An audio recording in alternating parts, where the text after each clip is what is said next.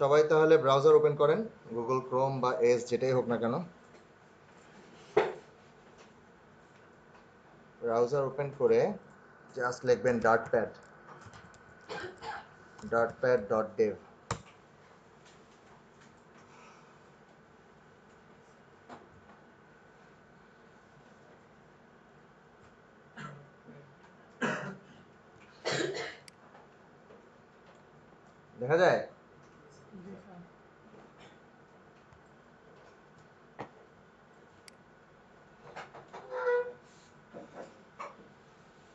আচ্ছা আমাদের প্রথম দিনের কথা মতো আমরা ডার্ট প্রোগ্রামিং ল্যাঙ্গুয়েজ নিয়ে দুইটা অথবা তিনটা ক্লাস সর্বোচ্চ বাকি ক্লাসগুলো আমরা ফাটা নিয়ে শুরু করবো তো ডার্ট প্রোগ্রামিং ল্যাঙ্গুয়েজ আগেই বলছি যে ডার্ট প্রোগ্রামিং ল্যাঙ্গুয়েজ কিন্তু ইটস একটা হিউজ ফ্রেমওয়ার্ক এটা দুই তিনটা ক্লাসে কখনোই শেখা পসিবল না বাট আমরা ততটুকুই ডার্ট শিখব যতটুকু শিখলে আমরা ফ্লাটারটা অন্তত স্টার্ট করতে পারি কারণ ফ্লাটার স্টার্ট করার পর আলটিমেটলি ডার্ট প্রোগ্রামিং ল্যাঙ্গুয়েজ নিয়ে আমরা কাজ করবো তো অ্যাপ বানাতে বানাতে এই ডার্টের অনেকগুলো ফিচারও আমরা শিখে ফেলতে পারবো ওকে বাট কিছু জিনিস আছে কিছু সিনট্যাক্সের ব্যাপার স্যাপার আছে যেগুলো না জানলে হয়তো বা আমি ফ্লাটার শুরুই করতে পারবো না আপনারা হয়তো অলরেডি জাভা জানেন কেউ কেউ পিএসপি জানেন বা পাইথন জানেন অলমোস্ট সিমিলার কিন্তু শুধু সিনট্যাক্সে একটু পার্থক্য বাট ওটা আমাদেরকে একটু শিখতে হবে তো দেখেন আপনাদের সবারই মনে হয় এরকম কিছু একটা আসছে তাই না এবং এখানে একটা দেখা যাচ্ছে ভয়েড মেইন এই মেইনটা আসলে কি নাম কি মানে এটাকে কি বলা হয় এটা একটা ফাংশন বলা হয় আচ্ছা ভয়েড পরে দেখেন একটা ব্র্যাকেট আছে ব্র্যাকেটের ভিতরে একটা লুপ আছে এটা এভাবে সিলেক্ট করে আপাতত ডিলিট করে দেন জাস্ট এরকম রাখেন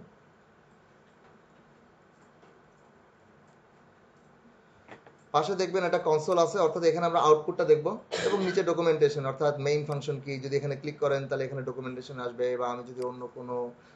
ক্লাসের নাম বা বিল্ট ইন কিছু এখানে লিখি এবং ক্লিক করি তখন ওটা সম্পর্কে ডকুমেন্টেশনগুলো এখানে আরও ডিটেলস জানা যাবে আচ্ছা এই মুহূর্তে ব্রাউজারে ডাটের ভার্সন হচ্ছে three point one point zero এটাই হচ্ছে একদম লেটেস্ট ভার্সন এবং আমরা যখন আমাদের পিসিতে ইনস্টল করব এটাই ইনস্টল হবে এবং নিয়মিত বিরতিতে এটা আপডেট করতে হবে ডার্ট ফ্লাটার এগুলো বছরে মনে হয় চারবার আপডেট হয় চার মাস পর পর না তিন মাস পর পর মেবি আমার ঠিক মনে নেই বাট তিন চারবার আপডেট হবেই এটা কোয়ার্টারলি আপডেট এটা তারা নিয়ম করে এটা ছাড়তে থাকে তো যখনই আপডেট আসবে তখনই কিন্তু আমরা আপডেট করে নিব কখনো ব্যাকডেটেড কোনো ভার্সন আমরা ইউজ করব না অনেকে গরিমসি করে বাট নতুন ভার্সনে যে ফিচারগুলো আসে অনেক সময় দেখা যায় যে প্রিভিয়াস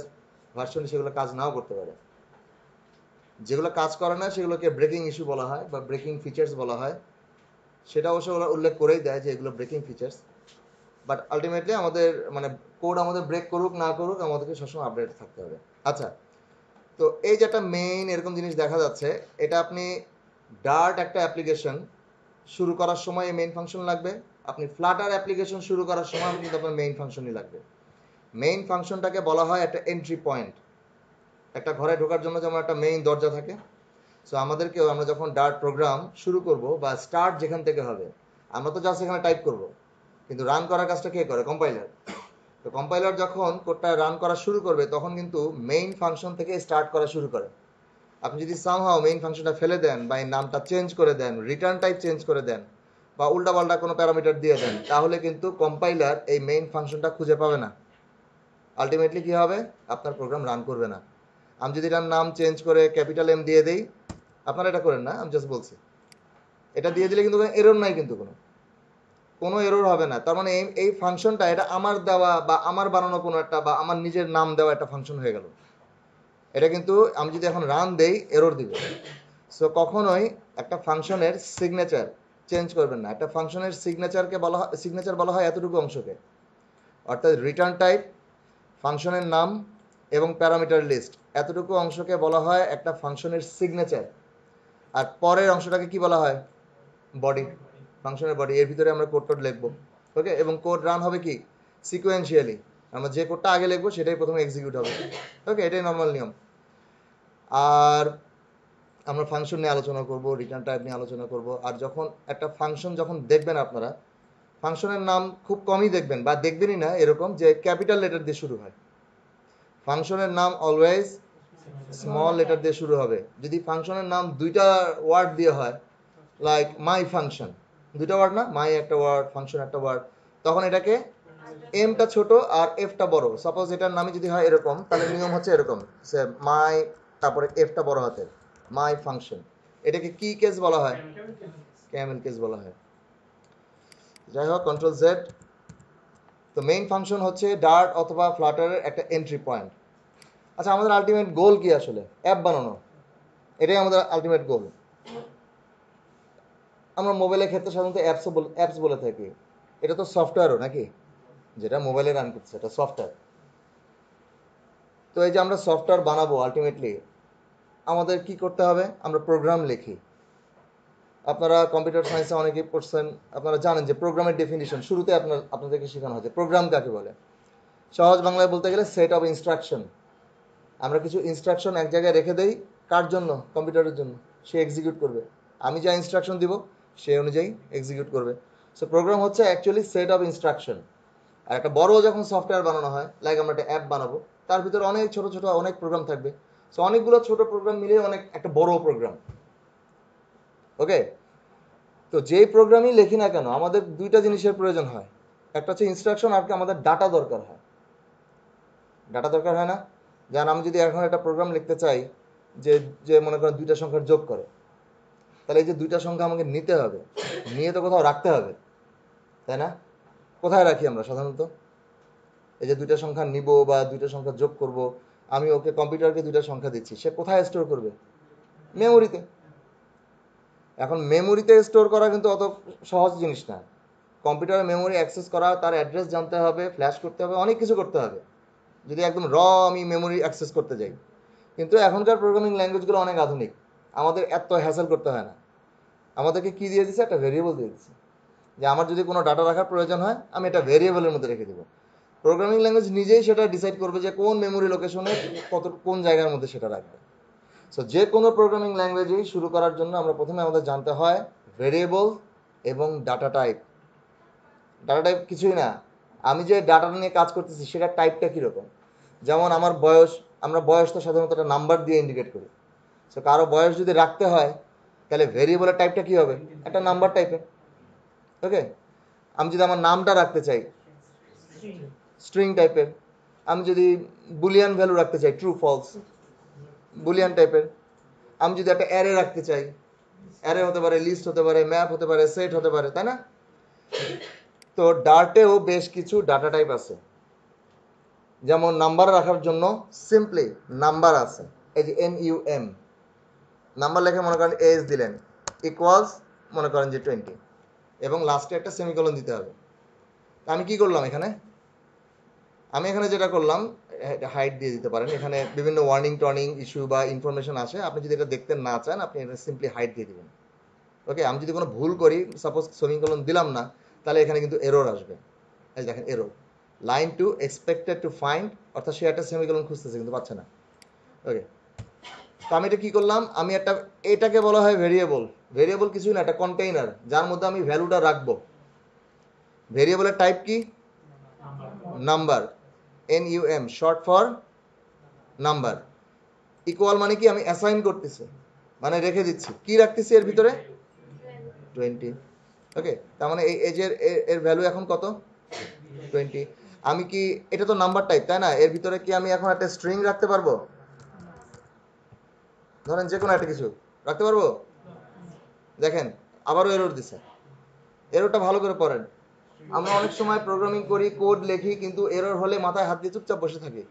বুঝি না কিছু আমাদেরকে এরোর পড়তে হবে কিন্তু এগুলো পড়ে বুঝতে হবে এই যে একটা লাইন লেখছে a value of type string cannot be assigned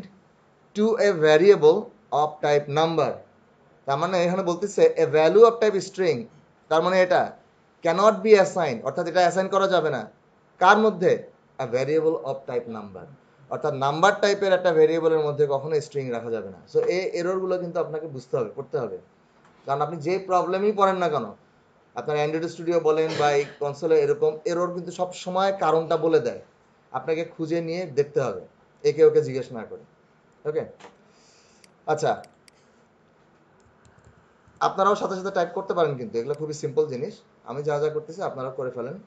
পরে না হয় এক্সারসাইজ যখন করতে দিব সেটা ডিফারেন্ট জিনিস তো আমি এটা ভেরিয়েবল ডিক্লেয়ার করলাম নাম্বার টাইপের যার ভিতরে নাম্বার রাখা যাবে এখন নাম্বারও তো অনেক ধরনের আছে এটা এমন একটা নাম্বার যেটাকে পূর্ণ সংখ্যা বলতে পারি আমি একটা ডেসিমাল নাম্বার রাখতে পারি না যেমন টোয়েন্টি পয়েন্ট ফাইভ রাখতে পারি না বা মনে করেন এটা এজ না হয়ে পাই হতে পারে তো পায়ের মান কত three point one four one five nine যাই হোক তাই না কোনো এরর দিচ্ছে কোনো এরর দিচ্ছে না তার মানে নাম্বার এমন একটা টাইপ যার ভিতরে আপনি পূর্ণ সংখ্যাও রাখতে পারবেন ডেসিমাল নাম্বারও রাখতে পারবেন বোঝা গেছে আপনি যদি এমন একটা নাম্বার রাখতে চান যেটা পূর্ণ সংখ্যাও হতে পারে অথবা ডেসিমাল নাম্বারও হতে পারে সেক্ষেত্রে অবশ্যই আপনি ভেরিয়েবল টাইপ ডিক্লেয়ার করবেন নাম এবং হ্যাঁ আছে আমি আসতেছি এবং আপনি যখন নামে এখানে ক্লিক করবেন দেখেন ডকুমেন্টেশন কি দেখায় ডকুমেন্টেশন দেখাচ্ছে আপনি নামে ক্লিক করার সাথে সাথে কি দেখায় সিল্ড ক্লাস নাম implements comparable an integer or floating point number Java তো মনে হয় অনেকেই করছেন না করেন নাই জাভা জাভাতে ভেরিয়েবল মানে দুইটা ভাগে ভাগ করা হয় primitive non primitive reference type ডার্টে কটলিনে সব কিছুই রেফারেন্স টাইপ এই যে একটা টাইপ এটা আসলে একটা ক্লাস দেখেন নাম অ্যাকচুয়ালি কি এটা এটা অ্যাকচুয়ালি একটা ক্লাস তারপর আমরা ক্লাসের অবজেক্ট ক্রিয়েট করি অবজেক্টের পরে ডট দিয়ে প্রপার্টি ভ্যালু অ্যাক্সেস করি এটাও সেম একই জিনিসই করা যাবে আমি সেগুলোতে আসতেছি তো যাই হোক আমরা যে প্রথম যে টাইপটা শিখলাম সেটা কি টাইপ নাম্বার টাইপ এখন আপনি যদি চান যে শুধুমাত্র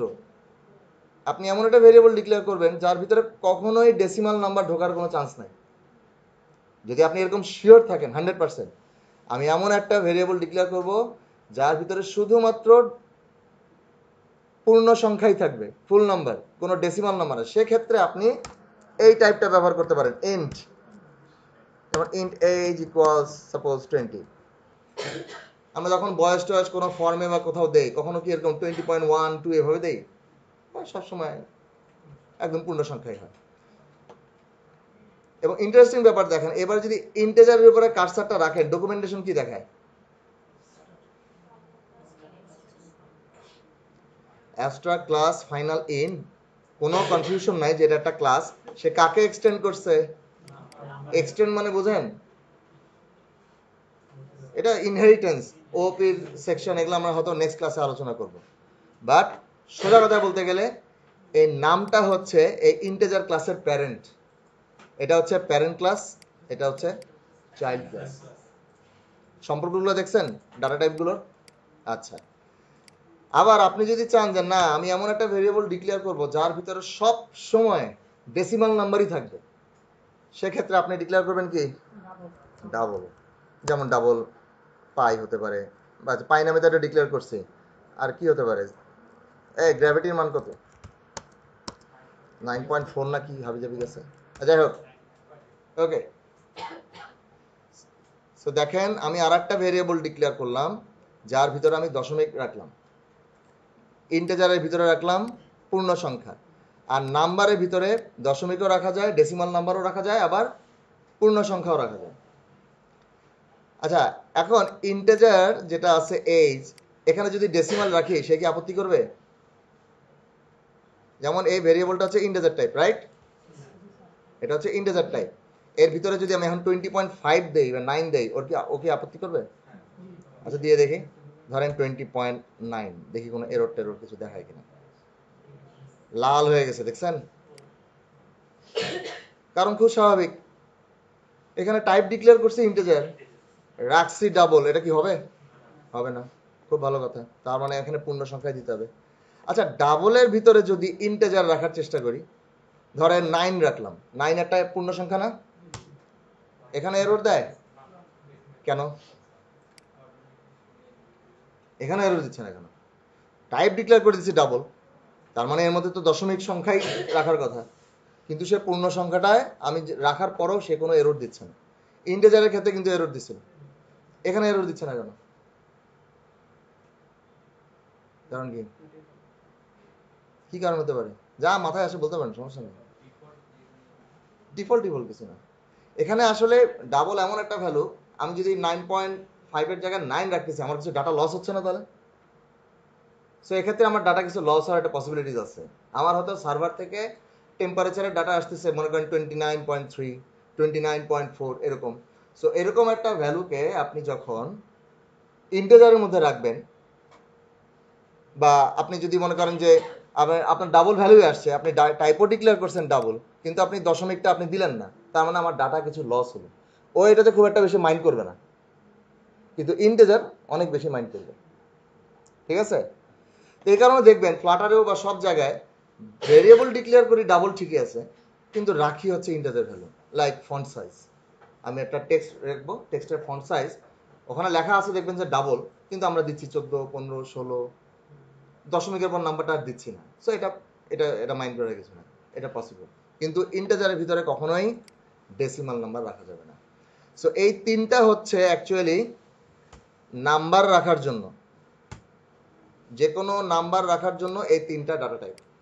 নাম্বার ইন্টেজার এবং ডাবল এবং এই ক্লাসগুলোর মধ্যে সম্পর্ক আছে দেখেন ডাবলও কিন্তু এক্সটেন্ড কাকে করে হয়ে গেল দেখেন নাম্বারকে তার মানে এ হচ্ছে প্যারেন্ট টাইপ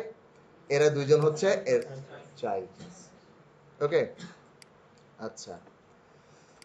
এবার এই গেল তিনটা টাইপ শিখলাম এখন মনে করেন কারো যদি নাম রাখতে হয় তার মানে কি ক্যারেক্টার জাভাতে সিএইচ এ আর অনেকে চার বলে অনেকে কার বলে একটা টাইপ আছে অর্থাৎ আমি যদি শুধুমাত্র এরকম ভ্যালু রাখতে চাই যে এ এটা কার মধ্যে রাখতে চাই আমরা জাভাতে ডিক্লেয়ার করতাম এরকম একটা টাইপ ডিক্লেয়ার করতাম হ্যাঁ ক্যারেক্টার লিখে তারপর একটা ভেরিয়েবলের নাম দিতাম তারপরে এরকম অ্যাসাইন করতাম আমাদের ডাটে এরকম কিছুই নেই ডাটে কিছুই নাই আপনি একটা সিঙ্গেল ক্যারেক্টার রাখেন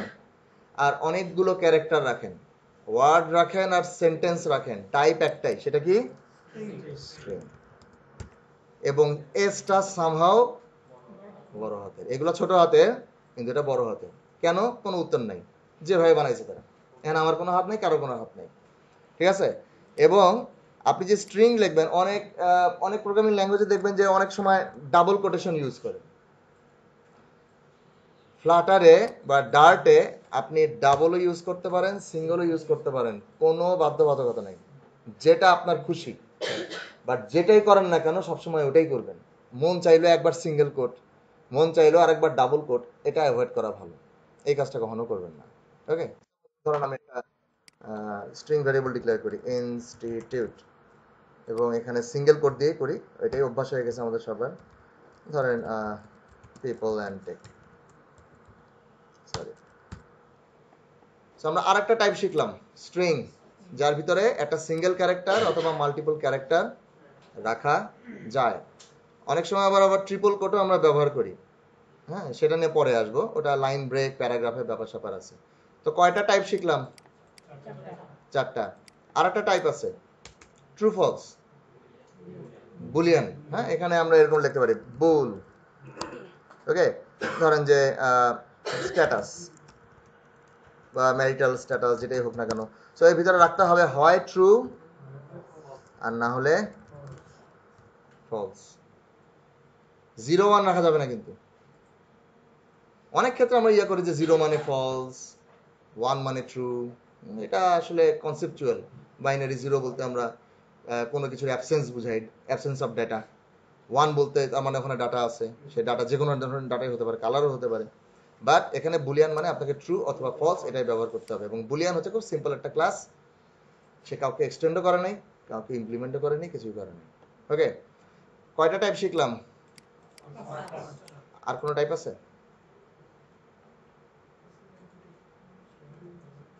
আর কিছু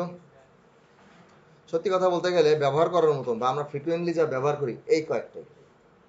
আর নাই আছে এরপরও আছে সিম্বল আছে রুইন্স আছে বাট ওগুলো ওইভাবে কখনোই লাগে না সময় সুযোগ হলে যখন অনেক অবসর টাইম সব কিছু শিখে ফেলাইছে তখন ডকুমেন্টেশন দেখে দেখে ওগুলো পড়ে ওগুলো তখন কি কাজে লাগবে তখন নিজেই বুঝবেন বাট নর্মালি অন্তত আমি কখনো মানে ব্যবহার দেখিনি এরকম খুব বেশি টেকনিক্যাল বা ম্যাথমেটিক্যাল কিছু যদি করতে চান তখন হয়তো বা লাগতে পারে আদারওয়াইজ এই কয়েকটা টাইপই যথেষ্ট এগুলো হচ্ছে আমাদের ডাটের বেসিক ডেটা টাইপ যদি পূর্ণ সংখ্যা অথবা ডেসিমাল রাখতে চান নাম্বার শুধু ইন্টিজার নাম্বার হলে এন্ড যদি ডেসিমাল নাম্বার রাখতে চান ডাবল যদি ক্যারেক্টার অথবা সিরিজ অফ ক্যারেক্টার রাখতে চান স্ট্রিং এবং বুলিয়ানের ক্ষেত্রে বুলিয়ান ওকে আরও কিছু টাইপ আছে ওগুলোকে টাইপ বলা যায় না ডাটা স্ট্রাকচার বলি আমরা লিস্ট ম্যাপ সেট হ্যাঁ ওগুলো তো পরে আসতেছে আচ্ছা এবার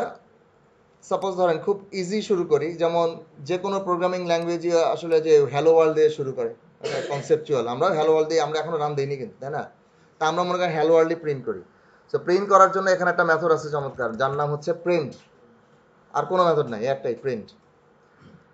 তারপরে এরকম ব্র্যাকেট দিতে হয় লাস্টে সেমিকলন দিতে হয় এবং এই প্রিন্টের ভিতরে আপনি আসলে যে কোনো কিছুই প্রিন্ট করতে পারবেন আপনি একটা ভেরিয়েবলও প্রিন্ট করতে পারবেন যেমন আমি এখানে ভেরিয়েবল ডিক্লেয়ার করছি না পাই এজ গ্র্যাভিটি ইনস্টিটিউট এগুলো প্রিন্ট করতে পারবেন আপনি যদি এখানে ইনস্টিটিউট এই ভেরিয়েবলটা এখানে দিয়ে দেন টাইপ করেন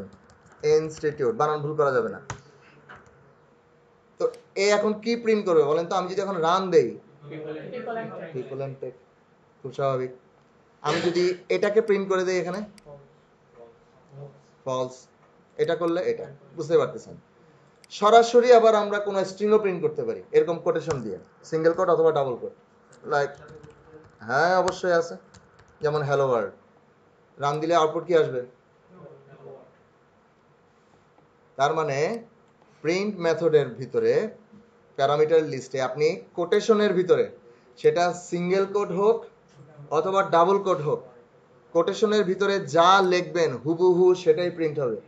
আপনি এখানে বানান ভুল করলে বানান ভুলটাই প্রিন্ট হবে ওকে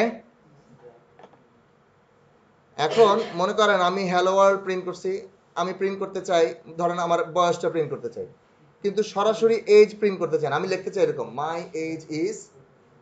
তারপরে বয়সটা প্রিন্ট করতে চাই সেক্ষেত্রে কি লিখতে হবে সেক্ষেত্রে আমাকে লিখতে হবে যেটা প্রিন্ট হবে হুবহু আমাকে সেভাবেই লিখতে হবে লাইক মাই এইজ ইজ এবার এইচটা প্রিন্ট করতে হবে আমি যদি এখন এইজটা এভাবে লিখি হবে কারণ এটা হুবহু এটাই প্রিন্ট করবে my my age is age কিন্তু আমি যদি এটার অ্যাকচুয়াল ভ্যালুটাকে শুধু প্রিন্ট করতে চাই তাহলে এটার আগে কি দিতে হবে এটা জানি কোন প্রোগ্রামিং ল্যাঙ্গুয়েজের সাথে মিল আছে আমাদের এই কাজ করা যায় কোন কোন প্রোগ্রামিং ল্যাঙ্গুয়েজে এটা করা যায় পাইথনে করা যায় কি বলে পাইথনে করা যায় না এরকম এটার একটা নাম আছে এটার একটা নাম আছে এটাকে বলা হয় স্ট্রিং ইন্টারপোলেশন হ্যাঁ এটাকে বলা হয় স্ট্রিং ইন্টারপোলেশন অর্থাৎ স্ট্রিংয়ের ভিতরে আমি একসাথে স্ট্রিংও আমি ক্যারেক্টারও প্রিন্ট করতেছি আমি এটা ভেরিয়েবলের মানও প্রিন্ট করতেছি এটাকে বলা হয় স্ট্রিং ইন্টারপোলেশন বা শর্টকাট আমরা অনেক সময় কনক্যাটেনেশন বলি না কনক্যাট করা জোড়া দেওয়া জাভাতে কি করতে হয় জোড়া দিতে হয় প্লাস সাইন দিয়ে হ্যাঁ এখানেও করা যায় বাট আমার যেহেতু সুন্দর একটা ব্যবস্থা আছে ডলার সাইন ব্যবহার করে তাহলে কেন আমি সেটা করবো না সো ইন দ্যাট কেস কী হবে এটা আউটপুট কী হবে মাই এজ ইজ টোয়েন্টি অর্থাৎ এটা হুবহু প্রিন্ট করবে এবং এটার মানটা শুধু প্রিন্ট করবে ওকে আচ্ছা ধরেন আমি প্রিন্ট করতে চাই এই যে ইনস্টিটিউট এই ভ্যালুটাকে প্রিন্ট করতে চাই বাট এই স্ট্রিংয়ের ভিতরে যতগুলো ক্যারেক্টার আছে বা এটা লেন্থটা আমি প্রিন্ট করতে চাই লেন্থ আচ্ছা আপনার গোনেন তো এখানে লেন্থ কত এটা পিপল মানে ছয় স্পেস সাত আট নয় দশ এগারো বারো তেরো আমার হিসেবে তো তেরো আসে এখান থেকে যদি হিসাব করেন এক দুই তিন চার পাঁচ ছয় সাত আট নয় দশ এগারো বারো তেরো তেরো আসার কথা না এখন আমি প্রিন্ট করতে চাচ্ছি the length of people and take is তারপরে থার্টিন আমি কি লিখব the length of GTH the length of people and take people and take আমি নিজে লিখবো না আমি ভেরিয়েবলের মানটা আগে প্রিন্ট করব তার মানে কি ডলার ইনস্টিটিউট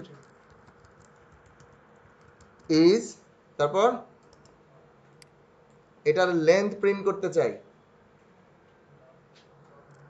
যখনই মান প্রিন্ট করব ডলার সাইন দিতেই হবে ঠিক আছে ডলার সাইন দিতেই হবে যার মান বা যার লেন্থ প্রিন্ট করব সেটাও লিখতে হবে কিন্তু যেহেতু এটা একটা অবজেক্ট এরপরে দেখবেন ডট দিলে আর একটা ভ্যালু পাবো এলিয়েন জিটিএইচ লেন্থ কিন্তু এখানে একটা এরর আসবে এখানে একটা এরর আসবে এরোটা আসতেছে না কারণ এটাকে সে স্ট্রিং হিসেবে হয়তো বা নিচ্ছে আমি যদি রান দেই দেখি আউটপুটটা আসলে কি আসে বেশি বড় হয়ে গেছে এর কি আসছে দেখছেন অবস্থা আউটপুট এটা কোন আউটপুট হলো the length of people and take is people and take dot length এটা হলো কিছু তার মানে এটাকে প্রিন্ট করছে আর এটাকে সে নর্মাল হুবহু যা যেভাবে লেখছি ওইভাবে প্রিন্ট করে দিছে সো আমাকে যদি এরকম কিছু একটা করতে হয় যে আমি যাকে যে ভেরিয়েবলটা প্রিন্ট করতেছি শুধু ওই ভেরিয়েবলটাকে প্রিন্ট করতেছি না ওর কোনো প্রপার্টি বা মেথডকে কল করব এবং সেটার ভ্যালু প্রিন্ট করব তখন এই পুরো জিনিসটাকে আপনাকে একটা ব্র্যাকেটের মধ্যে রাখতে হবে এখন ঠিক মতন আউটপুট আসবে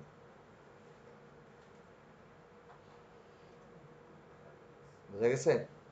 যখন শুধু ভেরিয়েবলের মানটা প্রিন্ট করবেন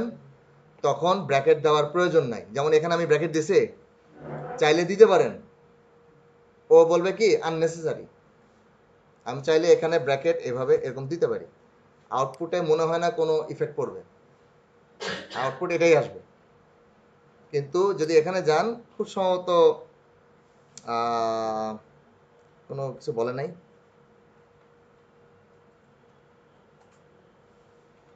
কোনো আপত্তি এই যে আননেসেসারি ব্রেসেস ব্রেসেস মানে হচ্ছে এটাকে ব্র্যাকেটটাকে unnecessary braces in a string interpolation so যখন একটা সিঙ্গেল ভ্যালুর মান প্রিন্ট করবেন তখন এই ব্র্যাকেট দেওয়ার প্রয়োজন নয় কিন্তু যখন ওই অবজেক্টটার কোনো প্রপার্টি বা মেথডকে কল করবেন তখন পুরো জিনিসটাকে একটা ব্র্যাকেটের মধ্যে রাখতে হবে তার মানে পুরো জিনিসটা ক্যালকুলেট হবে ক্যালকুলেট হয়ে যাওয়ার পর সেই মানটা সে প্রিন্ট করবে ওকে সেগুলো খুবই সিম্পল জিনিস কারো কোনো প্রশ্ন নাই তো এগুলো খুবই সিম্পল